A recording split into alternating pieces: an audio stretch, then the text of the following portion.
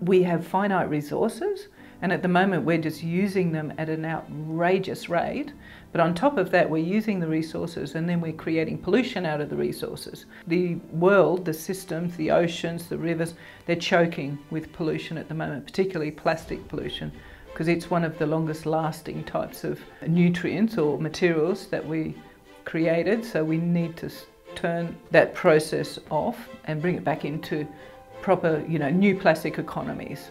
When they refer to closing the loop or the circular economy, what that means is basically taking it from a linear take, make and dispose method of what we've been doing since the industrial age. Closing the loop is turning that line into a circle. When we first make something, we make it with the idea that we know where it's going to end up and it can be repurposed, it can be reused and brought back into the system.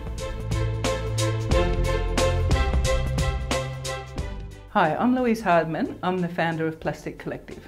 Petroleum-based plastics, which at the moment is most of them, um, take a long time to break down in our oceans and in our waterways. Plastic bottles take around about 450 years to break down. Fishing lines, which is one of the longest lasting ones, takes about 600 years.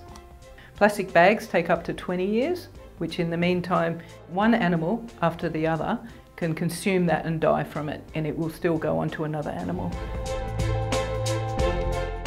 Yeah, the original Shruder, which is a small mobile recycling machine, is a combination of two machines. It's a shredder extruder, hence the name Shruder. So the shredder shreds material into small flakes that gets collected.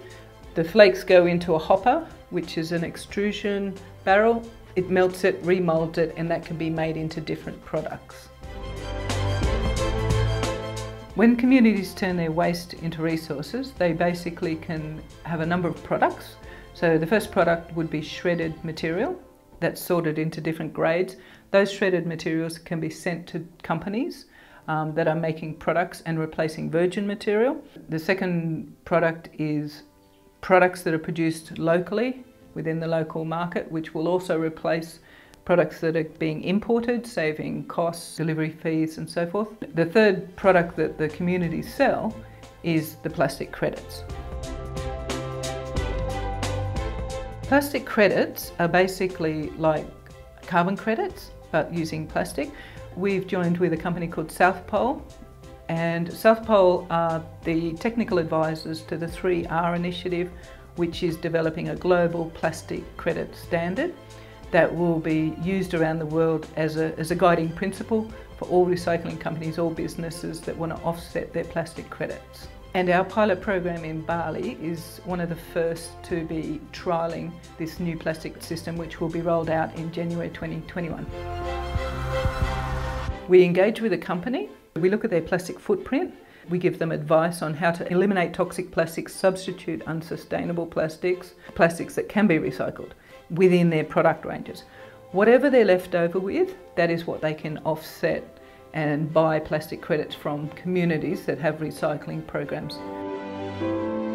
We can track the materials from the very first person that picked it up and from the area that they collect it from, whether it's from households, businesses, um, organisations or programs, that material can be tracked along its way and verified at every stage and that, that enables manufacturers or other buyers of the products, they're assured that it has a provenance. Then we can also link it to you know, the photographs of the community that actually picked it up for them as well. Our communities on the ground, the Shruder recycling stations have remote telemetry and data storage with the cloud-based system so we, we can capture all that information from every single project we have and we can bring it back to a central location um, and we can verify this as well. My advice for any student that wants to create positive impact in the world is focus on solutions. Don't focus on the problem, like definitely identify the problem, but don't focus on it.